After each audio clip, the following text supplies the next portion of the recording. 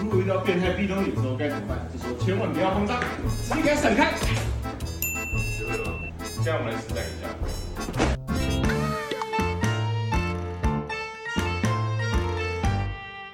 今天来教大家双手被变态抓住的时候该怎么办。左脚向前脚步，一个翻身，用力一推，再实际操练给大家看。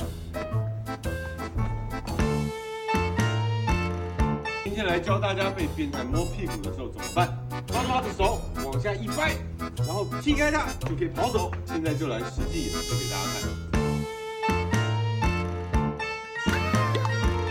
现在我们来实战一下。